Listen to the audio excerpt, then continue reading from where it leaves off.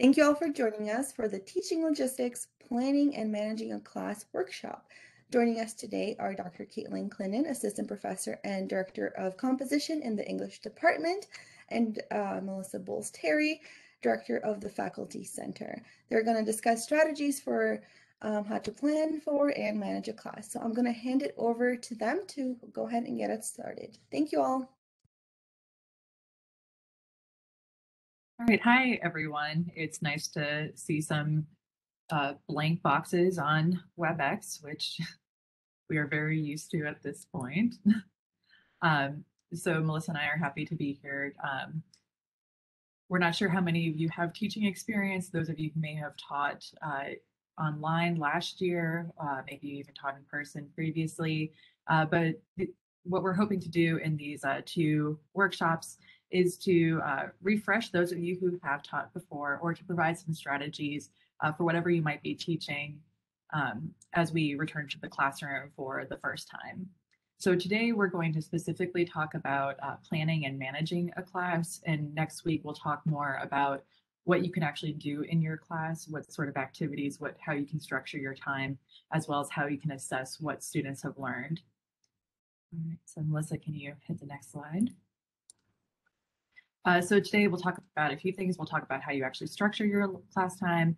We'll provide some lesson plan uh, suggestions as well as a template for you that you can use in your own class. Uh, then Melissa will talk more about some classroom management, uh, some scenarios that uh, may come up depending on the classes that you teach, uh, as well as some logistical questions. And then we'll have time for Q&A at the end.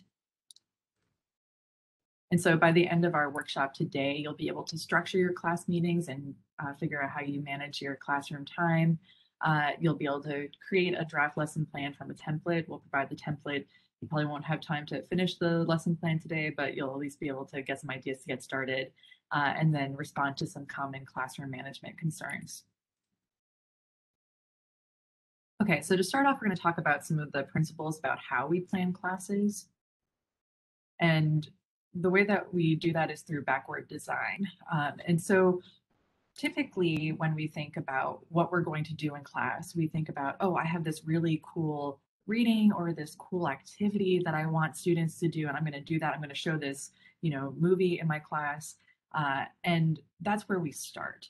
Um, and that is uh, maybe the more traditional way of designing classes and our class meetings. Uh, Instead, in pedagogical theory, there's this idea of backward design. And there are books written on this, and I'd have included in that folder um, that we have at the bottom, the bit link teaching logistics. I have included uh, a reading that addresses backward design if you're more interested. But this uh, backward design begins with the principle of what do we want students to learn?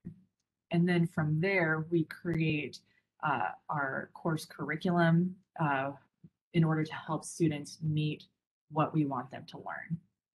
So it's always prioritizing not the cool activity, this cool idea that I have, but instead, what do I want students to learn? So once you have what students, what you want students to learn, then you think about how am I going to know that students have learned what I want them to learn. That's the step two. That's determining acceptable evidence. And then the third step is uh, we plan learning experiences and instruction to help students uh, achieve these learning outcomes. And so that's where we get to uh, come up with these great assignments, these great activities. Uh, we bring in different content ideas uh, because the reason we you know have class meetings the reason we provide you know students with you know homework and assignments and activities and that we meet with them in class is because we want them to learn something and so this backward design process prioritizes student learning melissa can you all right, so we're going to start by developing some learning outcomes for your class, which might sound a little bit intimidating. And depending on the, the context that you're in, these learning outcomes might already be predetermined for you if you're teaching um, a class with a standard curriculum. But I think we all, based on our discipline and the kind of course that we're teaching, we all have goals for our students. We all have things that we want our students to learn uh, in our class that these different concepts that if they remember nothing else from your class in in one year in 10 years, what do you want them to remember?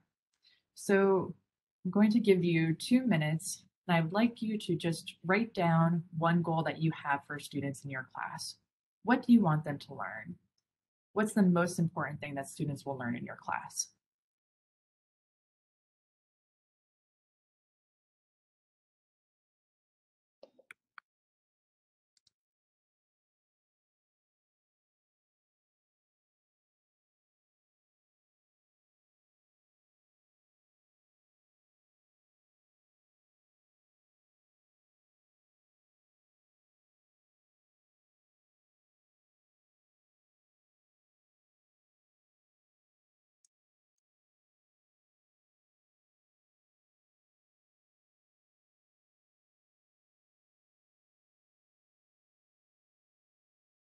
And you can feel free to share what uh, you want students to, to learn in your class in the chat, uh, or you can keep it to yourself.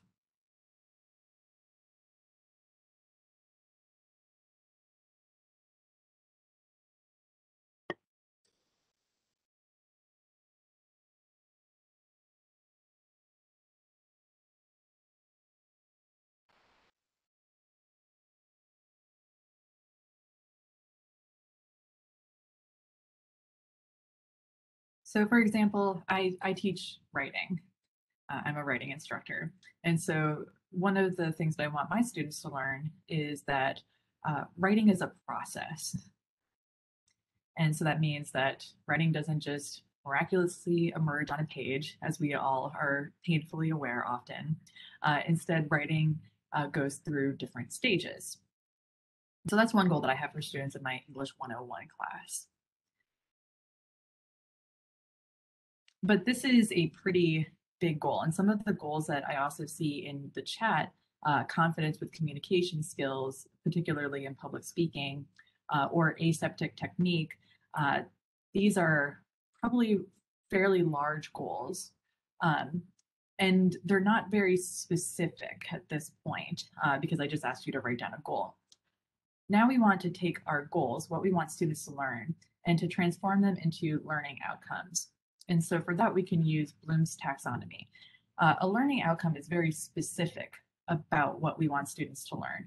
So instead of a like a broad idea of I want my students to become better writers or I want my students to, you know, become uh, safe uh, or I want my students to become scientists, uh, or I want my students to to question different ideas. Uh, we need to break it down into something that is more specific that we would be able to identify like when a student has actually achieved that. So we have in the less or in our folder, Melissa, can you pull up the Bloom's verbs?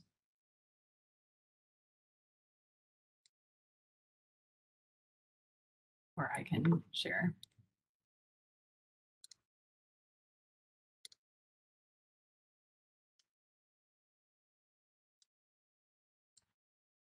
We've uh, added for you this uh, Bloom's taxonomy action verbs. And so it often is helpful for us to begin with a verb or an action word. What is it that students will actually be doing? Uh, and Bloom's taxonomy is one way that we uh, kind of categorize the different verbs that students, yeah, I can zoom in, this is very time. It's also available for you in the, uh, the Google folder that uh, Nev also linked in our chat and that Melissa just put there. So we have these multiple categories of action verbs uh, related to learning. Um, and so Bloom's taxonomy, we often think about it as a, a, a, pyramid. At the bottom are these fundamental concepts or fundamental actions of things like remembering um, and then understanding. Applying moves further up the pyramid to analyzing, evaluating, creating. And so this is how students interact with, with knowledge. Uh, so they have to start off by just understanding, being able to, you know, recite, that they uh, regurgitate information, they have things memorized. Once they have that foundational understanding, then they're able to move into these higher level uh, levels of learning. So then they're applying these concepts uh, of, for example, you know, uh, they might be learning about mitochondria, they might be learning about how cells function, uh, and then they memorize that, but then they actually apply it in a lesson to understanding cell functions. And then they start analyzing, they start eventually making their way to creating new knowledge. And so we want to think about how uh, we incorporate all these different levels of learning uh, in, uh, in our classes over a period of time. Um, as I mentioned, like you can't you know, expect students to understand or to start creating new knowledge as a historian until they understand the history that has already, the, the theories that are already in place. So you can scroll down and you can see the different verbs that are typically associated with these different levels of Bloom's taxonomy. Uh, so you can see that here uh, in these lower levels of the Bloom's taxonomy period, uh, pyramid, uh, we have things like recall, select, tell, uh, they understand the basic concepts of what, when, where, why, who. Uh, and then they might start classifying. They start uh, breaking down that understanding further. So I would like you to take your goal and to find a verb that fits with your goal for students. And to try to rewrite uh, your your goal for students as a learning outcome. And typically that is structured as students will be able to blank. Students will be able to pick a verb uh, and go from there. So I'll give you a few minutes and you could put your learning outcome in the chat if you'd like.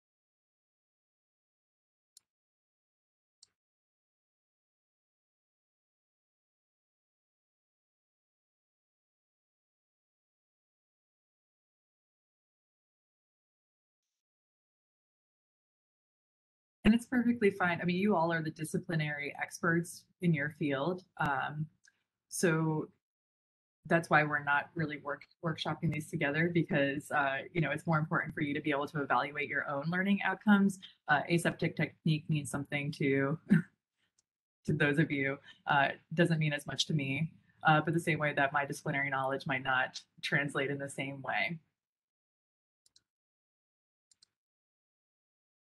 Okay, so once you have your learning outcome, uh, which the ones that we have in the chat, students will be able to build confidence with public speaking skills. Students will be able to demonstrate aseptic techniques. These are good examples of uh, learning outcomes. Students will be able to identify social policies which lead to socially constructed norms. Yeah. Uh, so I want you to now review your goal. And again, this is where you can draw on your disciplinary expertise, and it's not necessarily something that uh, Melissa or I will be able to decide uh, for you. But I'd like you to review your goal and decide, is this a goal? What is the scale of this goal? Is this a goal, something that we can achieve in a single class in a you know 50 to 75 minute class period? Is it something that we would uh, be able to achieve, a student would be able to achieve and demonstrate over an entire unit, maybe multiple weeks? Uh, is it something that can be that is an entire course, like that they would learn over 16 weeks? Is it something that we aspire that they learn over an entire career?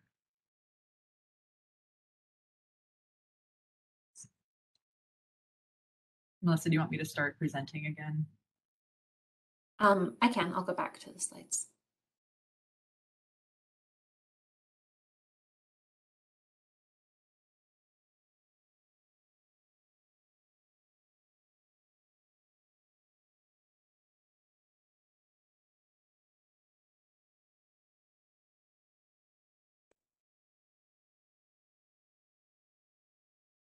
So based on some of the outcomes that we have in our chat, we can, you know, think that students will be able to build, uh, will be able to build confidence with public speaking skills. That's probably a semester long goal. You know, that's why students take, you know, COM 101. Uh, aseptic technique, uh, again, I'm not an expert in this, but this sounds like something that might be achievable over, you know, a, a unit, you know, that they're learning the different components of aseptic, aseptic technique and then actually applying it using that. Uh, it might even be a lesson. Again, that depends on your disciplinary knowledge. Students will be able to identify social policies which lead to socially constructed norms. This also seems like a big semester, you know, even maybe potentially multiple semester uh, learning outcome. And that's completely fine. We have all these goals for students at different, uh, over different time periods. What we want them to achieve in a 50 to 75 minute class period, uh, and then things that we want them to achieve over our course, uh, and again, throughout their entire major. But what I'd like you to do now is to modify your goal so that it is appropriate for a single lesson. So that means breaking down these bigger learning outcomes that we have that might take, you know, four weeks, 16 weeks, uh, multiple classes, and to think, what can students achieve in a 75 minute class period? So you might need to break your learning outcome down into more specific uh, mini outcomes. So take just a few minutes and try to modify your goal.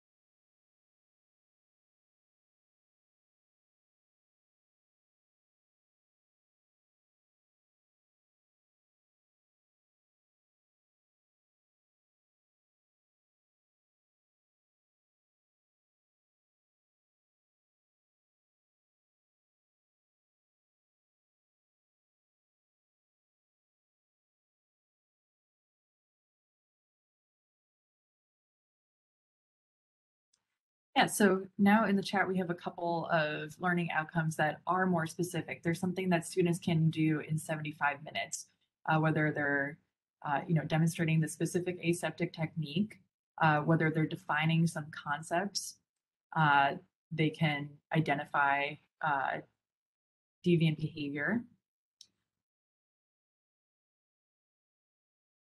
Okay, so we have a great question in the in the chat about if I teach a one day a week course, would it still be useful to break down the goals into smaller chunks, or should there be one main goal for each class session?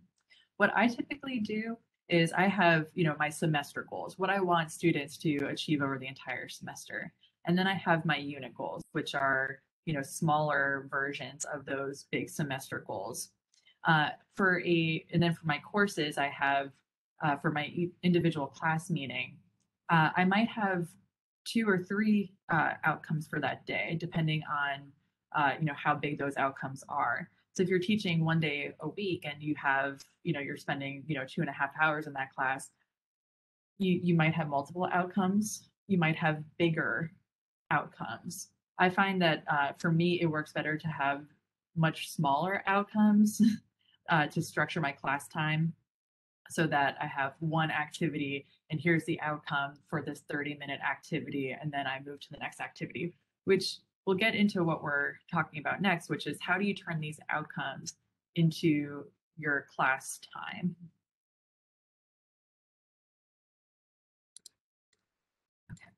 Um, which we'll get to in a, a minute because I forgot the, the second step, which is uh, determining acceptable evidence. So once you have that uh, that bite-sized learning outcome, what students would actually be able to achieve in one class meeting with you. Um, then you'll want to think about how am I going to know that students have actually achieved this? How have they learned what I wanted them to learn? Uh, and there are a couple ways to do this. Uh, you have your in-class activities. So you might be doing individual activities uh, with your students uh, where they are writing something, whether they are doing, uh, you know, an individual lab project or a group lab uh, activity. Uh, and if students are able to complete that activity, you know that they've met the learning outcome. Uh, they want to be able to uh, complete that activity without having learned what you wanted them to learn. So, for example, they won't have created that streak plate yielding colony uh, forming units without contamination if they didn't use the aseptic technique. They would have been contaminated. You might also have an end of class wrap up. Uh, and so this is a way to uh, have your students reflect on what they've learned and what they still need to know. So the muddiest point is an activity I often do at the end of my classes, which asks students on anonymous index cards to write, you know, what was the most confusing part of the class for them today? What was the most troublesome concept? Uh, what questions do they still have? Or they can write a one minute paper, which practices those writing skills. Uh, and it asks them to summarize, what did you learn in class today? You also have uh, homework assignments. Um, let me go back, thank you. Uh, your homework assignments. So uh, if students complete a reading, if students complete an out of class activity. These are always all things that you can tangibly point to and say, yes, students uh, have met this outcome because they have completed this, this work. Um, and so then you also have acceptable evidence that's at the different scale of your class. So you're, you might have major assignments for your units. You might have a, you know, really long, you know, they produce a lab report, they produce a, a research paper, uh, they produce a, a presentation. Um, those aren't things that they're doing within a particular class period. Uh, so these are some of the smaller uh, pieces of evidence that you might have within, you know, one of the 50 to 75 minute classes. Uh, and then I'm going to provide some suggestions for now that you know what you want students to learn, now that you know what you're going to consider acceptable evidence, uh, I'm going to provide some suggestions for learning experiences and instruction or what you do in your class, uh, but also recognizing that we're from a variety of disciplines and the different uh, activities that you use in your class will, will vary. Uh, but in general, uh, the average attention span for a single activity is about 10 to 18 minutes. And this is not something to besmirch students. This is all of our attention spans. Um, so you'll want to think about how you include multiple activities. Um, Melissa, can you progress, please? So if you have a 75 minute uh, class session, you'll want to include multiple activities. If you're teaching a once a week class that is, you know, three hours long, you'll definitely want to include multiple activities. Nobody wants to sit through a three hour lecture. Uh, I know I definitely couldn't. So you often when we talk about active learning, which we'll talk about more next week, um, lecturing kind of gets a bad reputation. Uh, lecturing itself isn't bad. As we went through with Bloom's taxonomy and that pyramid, students need to understand some fundamental concepts. My lights just went off. All right, there we go. I'm not in the dark anymore. Students need to understand some fundamental concepts, and that might uh, they might develop that knowledge through a reading that you assign out of class, uh, or it could be a lecture that you do. But you can uh, include ways to make lecture more active by uh, you know presenting some content, uh, giving students an opportunity to ask questions or to do a little activity like what we've been doing uh, through this session, you know, where I gave you some information, asked you to apply it yourself, uh, and then we moved through the lecture together. Should also consider that, uh, you know, our students are incredibly diverse and that they are going to learn and interact in different ways. So you'll want to facilitate different types of activities in a class meeting. That means that you might include some individual work, you might include some group work, you might uh, include some uh, different activities that really focus on a text. You might include some analysis. Uh, you can go back to those Bloom's taxonomy charts to come up with different verbs uh, so that students are doing activities that fall into the different categories. Uh, you should also think about using di different communication modes in your class. So not all of our students will learn best uh, just through an oral lecture.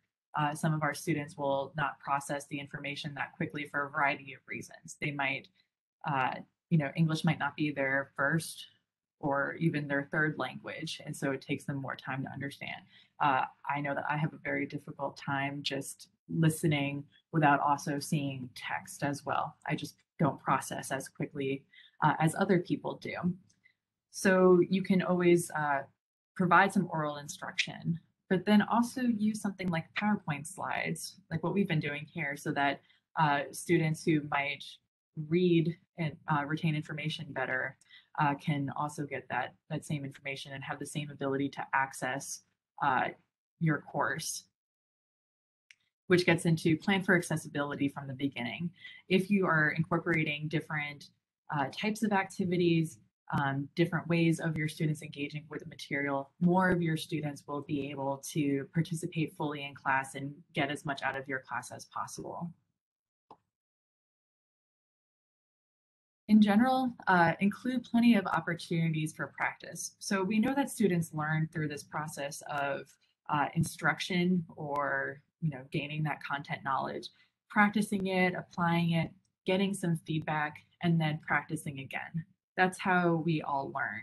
And so thinking of your class as a way that you can actually structure this, you know, give them some information, um, then give them an opportunity to practice, to apply what they've learned, give them some feedback. It doesn't have to be individual feedback necessarily. It could be, you know, that they're getting feedback from other people in their class. They're doing, getting, you know, feedback working in a group, or that you're having a large group uh, class discussion. It could be feedback that you give to the entire class overall. Uh, and then giving students an opportunity to practice again, whether that's in class or out of class. That's how students will learn best.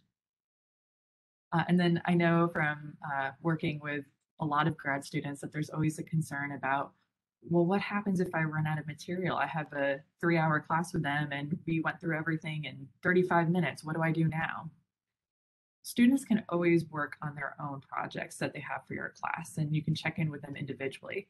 So if that means that you're in a lab and they're you know trying to work on some of their own uh, materials if they're in a uh, a math class and you give them time to work on some practice problems. Uh, often students will, if you ask if they have any questions at the end of a class meeting or when you're done with all the material, they will say, they won't say anything. Uh, but once they go home and start trying to do the work individually on their own, that's when they discover that they might have questions about an assignment or they run into some challenges. Um, and so if you give them an opportunity in class to get that jump start, then you can address questions as they come up rather than when you get the panicked email at 2.35 in the morning. Uh, and then uh, some of the most important aspects of class time are the transitions. So how do we move from uh, activity to activity, from class to class? So you can also think about class introductions. Uh, when you start the class, how do you start your class in a way that's most effective? Uh, and what we know about students retaining information uh, is that uh, the more that we can build in these transitions and to make it really explicit for our students, the better it is for them. So when you're starting a class, think about what did we do previously? Asking students to recall those previous um, class activities and what they've learned. Uh, and then to give a brief preview about what are we doing today and how does this relate to what we have previously done so that students are you know, you can think of it as they have these building blocks. They've got Legos. They're building this knowledge to make something that's more complex. Uh, we don't want students to just have a bunch of blocks in front of them and they're like, what is this supposed to be? That also has to do with our class conclusions. So students will retain the information if we can summarize and reflect. So what did we do today? What did we learn? And then what are we going to be doing in our next class? How are we going to continue to build, develop, or complicate what we've done today. Uh, we have also created for you uh, in our the Google folder, there is a lesson plan template, which Melissa has here. Um, and so this is a uh, pretty detailed lesson plan, uh, but I find it's beneficial to start with something that's more detailed, figure out what works for you and to make adjustments as needed. So there's a lot of just general information about, uh, you know, what uh, materials you might need for class. Uh, lesson plans are a good way for you to know what you're actually going to do in that class, uh, the things that you need to bring so that you don't end up in class and realize that you needed handouts that you didn't bring. Uh, so you can, there are teacher materials, student materials, what will students need to bring, uh, what students will have done for the session, uh, the learning outcome. So what will students learn in that particular class meeting? and then how will you know that students have learned have met that outcome. And so then it's broken down into learning activities.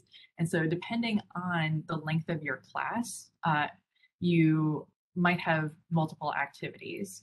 Uh, so the instructors that I teach typically are teaching uh, 75 minute classes. And so I tell them for that, you know, you're probably doing two to three activities in that amount of time. And that third activity is probably one that you isn't as important to you, that if you get to it, it's great but it's not critical just in case uh, students uh, or the previous activities take longer than you think, that there's more class discussion, that there are more questions that come up, or just technology sometimes doesn't work and you might not get started uh, at the time that you wanted to.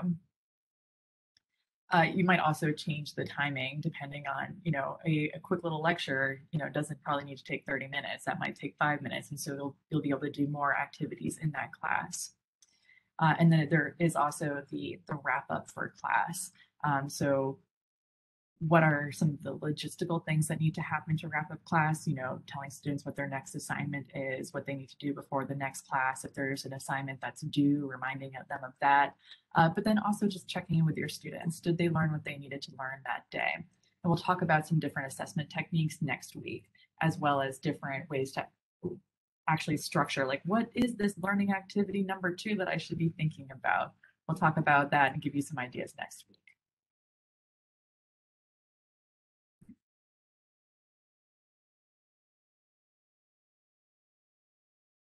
Okay, so um, we really do encourage you to get into that template. If it seems useful to you, make a copy and, you know, run with it, use it going forward. Hopefully that's useful to you. Um, we're going to spend our next bit of time talking about some classroom management scenarios. Uh, so this is going to be kind of a choose your own adventure part of our workshop today. Um, in the folder that we shared with you, there, there's a guide with some early interventions for students. This has some stuff that you can do in your classroom, of course, to make the, the classroom uh, an inclusive and a good learning space. But then we also have a whole list of offices for referrals because things come up in the classroom when you're dealing with students that are sometimes just way out of your purview, maybe way above your pay grade. So we just want you to know that there are a lot of offices on campus that are here for you for those um, student support issues that just go above and beyond what you can offer as a graduate assistant or even as a faculty member. I'm providing this to faculty members as well because a lot of this stuff is beyond our realm of expertise. So the first uh, support office that we're giving you is the UNLV support team. This is like the anything. If there's anything at all that you're worried about with the student, if they're not showing up, if they seem like they're not okay, if they tell you they have some um, housing or food insecurity issues, really anything like that, you can refer them to the support team, which is a, what it sounds like, a team of um, professionals on campus who can help students get counseling, can help students get healthcare, the different kinds of things that are available that students might not know about and you might not know about and I might not know about, but um, you can always make referrals to the support team. And then the rest of the offices here are more specific. So if you want to refer students to coaching, advising, tutoring, um, that can happen. There are peer mentors on campus, student outreach specialists. So the rest of this list, I'm not going to go to in detail, just so you know, there are these resources out there um, that you can refer students to. Um, but kind of your your starting point, your go-to for anything where you're like, wait, I don't, I don't know what to do with this student or how to help this student, go to the support team. So I want to put that out there first and then give you some classroom management scenarios. So this is also in your uh, folder and I'd like everybody to open this one up. I'm going to stop sharing here in a minute. Um, but we have eight different possible scenarios. There are, you know, of course, hundreds, but these are some that came to mind for me and Caitlin as we're thinking about what have we faced in the classroom? What have we heard about from our peers, mentees, colleagues um, about things that happen where you're like, now what? Now what do I do? So we're going to give you these eight scenarios. Um, I'd love for you all to just take five minutes, choose the scenario that uh, jumps out for you that you think, oh, this could definitely happen, or I could see this coming to pass, and um, make some notes about how you would respond. And I'd actually love for this to be like a useful document for everyone. So if you don't mind just like making your notes in the document to share with everyone, that would be great. And then you'll have this going forward as well so that you can see what your peers would recommend to you if uh, something like this comes up in your class. So I'm going to mute myself and set a timer for five minutes and just give you a little time to think about this.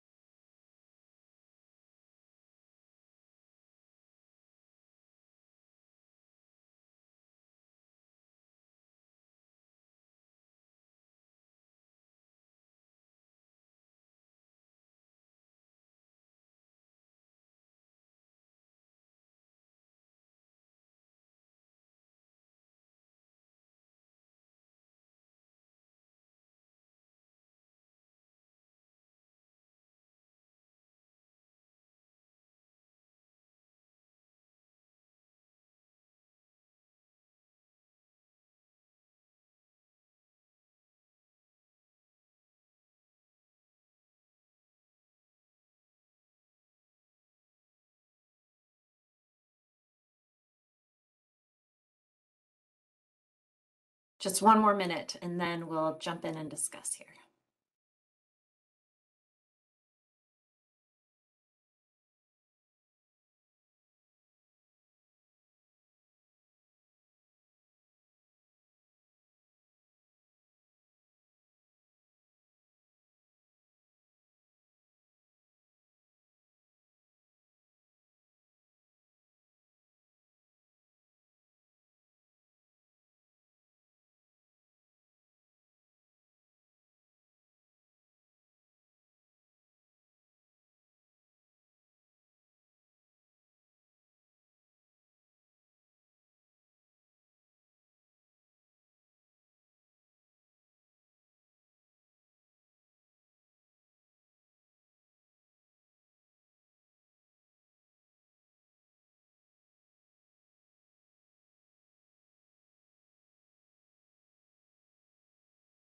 Okay, well, that looked like a really productive five minutes. I feel like we have great answers to a lot of these scenarios that will um, likely be really useful for you if these things come up.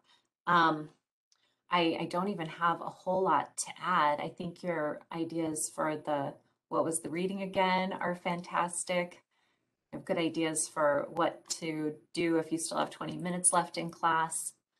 Um, I will say on the, the get your mask on scenario, you can refer students to student conduct. That's like the um, that's the official line is if students won't put a mask on, if they won't comply, then you can refer them to student conduct. You can end the class, you can just send that student to the Office of Student Conduct.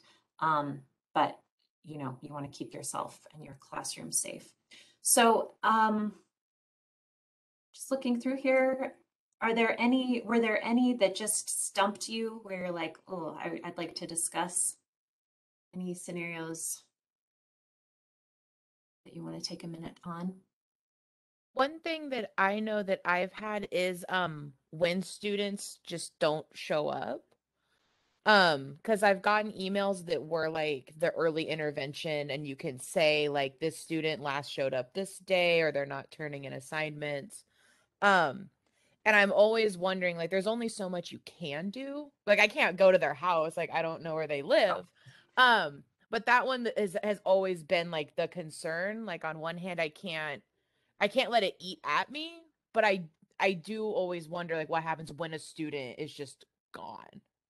Mhm. You know, and what what we can try to do.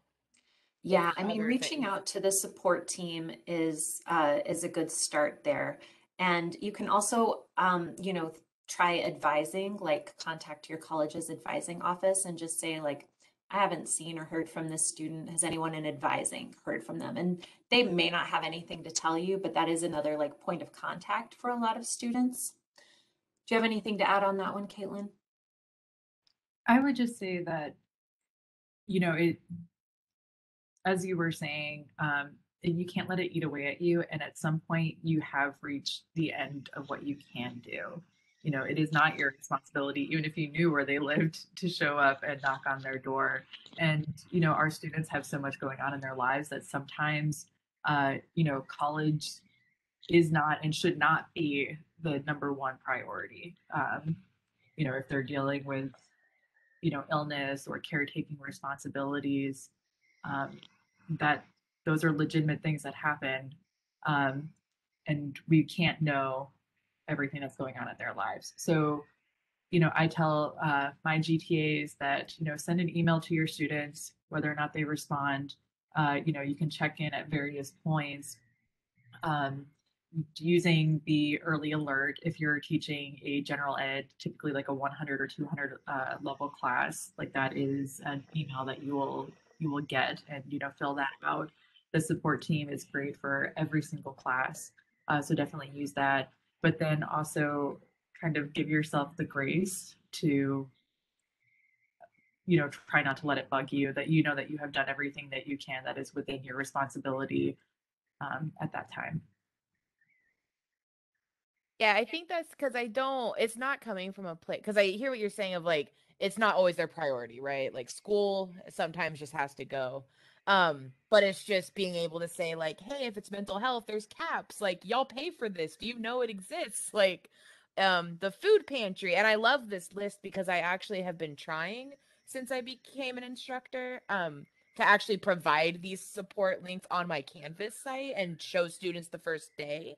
And there are things on here that I haven't added. so I I do like that there are other things that I didn't know about in order to tell my students now, you know, at the beginning of the semester.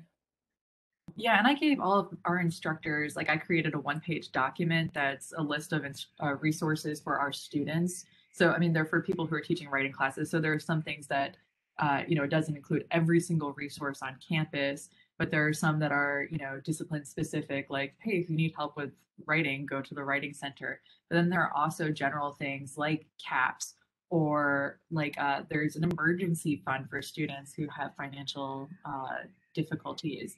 Uh, and so I'll also put that uh, document up in our Google Drive uh, in the folder. That way you have access to it and know that, you know, the language is a little more friendly for students. Uh, and so you can adapt it as you want to. Great. Um, any other scenario here that you would like to discuss a little more? Anything else um, you want more info on in the scenario? Yeah. Uh, the uh, what was the name of the scenario? The eager beaver scenario. I know I am dealing with that one right now. I have a class that I just met with for the first time yesterday, and there were some complications, so we didn't meet on Tuesday. And I had one student who showed up to class very much prepared, very much uh, eager to be in the course, and was kind of participating and uh, to an extent, maybe even over participating. And then every other student kind of just was backed up and was giving that student, like, yeah, if you want to talk, keep talking. And I was unsure how to, you know, politely kind of point out, like, I love your enthusiasm and I'm so glad that you are wanting to participate. But I also need to encourage other students to be a part of this and to participate um, and you know how to do that kind of politely to the student who is eager but also to make the point to the students who aren't participating like this is not uh, kind of an acceptable uh, way to participate in the class or lack of participation mm-hmm. Well, I think I think there's some good advice um, both in response to that scenario and then what folks wrote about crickets. You know, if you invite everyone in the class to take a moment to write down their thoughts first, then that can sometimes elicit more participation because some people um, just aren't as quick with the response, you know. But if you give them a moment to think about it, then more people may have a response. You might also come up with a system um, to like go row by row and, and just let students know like today I'm going to ask for responses from row number three and then row number four you know so it's not all on one person and you're not calling mm-hmm. it one person in particular but just you're looking to different zones and you want people from different zones to be engaging in the discussion and you might um, just have a private conversation with with the uh, over participator and tell them, you know, straight up, you love their enthusiasm, you love their participation, and you are looking to get more participation from the rest of the class. So, um, you know, ask them to like give you two responses per session or something. You know, you can be pretty, pretty straightforward and just say like, I need everybody to be getting their voice out there. So, um, you know, I'm probably going to cut you off after two responses. Okay. That that's really helpful. okay. Good. I've that also is a tough one. I've also just explicitly said because I've definitely done the write out your answer, and then I'll just say I want to hear from someone I haven't heard from today. Yeah. Um, because I usually tend to have like three that tend to be like the ones who always want who are very engaged. Um, so I just say like, oh, who hasn't, you know, and let me know, or even like break them up into like five groups, and you say, okay, now someone report from group one. Yeah, like that's another way I've tried to like mitigate is just explicitly saying I want to hear from a quiet student today. Absolutely. I mean, Yeah, we've all been there what I- too, right? Sometimes what I do is if I'm having groups present, I'll, you know, assign them different roles or I'll say somebody has to be the spokesperson for the group. Uh, and it should be somebody who was not the spokesperson last time. So, I mean, if you're thinking about participation and speaking in class as only within one session, you might it might help to think of it over how are students engaging in different ways that might not be explicitly speaking out in class, but then how are they also participating over a period of time? Because we all have days where we don't want to say anything. We want to participate with our camera off. You know, we want to be quiet because we have a headache. Um, but if that is, you know, just look at it over a longer period of time too. Okay, that's all very good information. I'm actively taking notes. Great. Okay, so um, before we wrap up, we also just wanted to talk a little bit about some logistics. Um, for uh, for some of you, I mean, you you've already dealt with this if you're teaching right now this week, but um, to to deal with things like your syllabus, your schedule, your textbook, um, be in close contact with your department um, to find out about that stuff. In terms of office supplies, um, I truly hope that you don't have to buy all this stuff. So check in with your department about things like masks, dry erase markers, binder clips, index cards, that sort of thing that you need for the classroom. Um, same with copying and printing.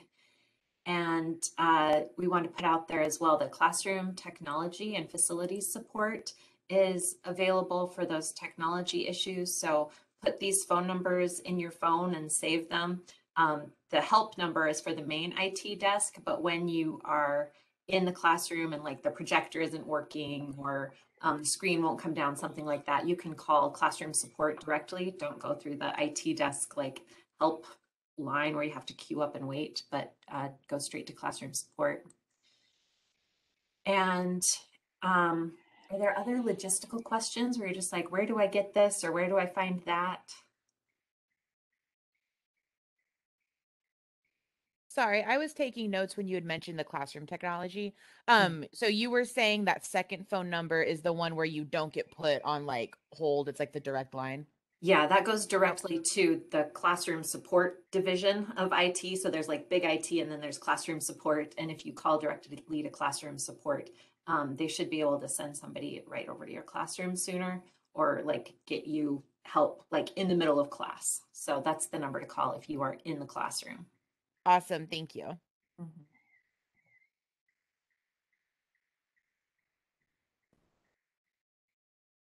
Um, and then just a reminder, you have, you know, you have support. Um, I am director of the faculty center. We're here to help instructors. So if you have uh, syllabus issues, assignment issues, if you want to talk something through, um, get in touch. You have the grad college to support you. Um, so we'll open it up for just like a couple minutes of Q&A. Anything else you want to talk about today? Caitlin's waving her arm, not because she has a question, because her lights went off again.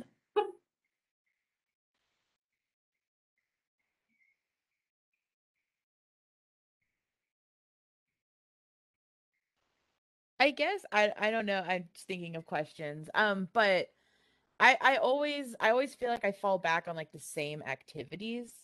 Like, okay, writing and answer a question, or I don't know. Like I always feel like I fall back to these like safe safe activities.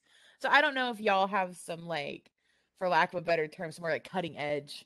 it's like seems like such a weird way to phrase it. Um, but just other activities because I I know that I used to be a very heavy lecturer. I'm trying now to do very heavy seminar is what I want to do. Like folks are sitting in a circle and groups of students are leading the seminar one one day a week. Um, because it's an upper division class, so it's smaller. Um, but if you just have any feedback of activities y'all have done, um, I know it's also very broad because we're all in different disciplines.